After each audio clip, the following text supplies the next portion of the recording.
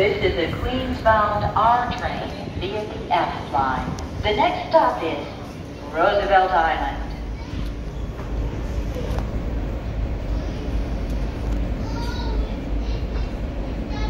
And we'll be closing doors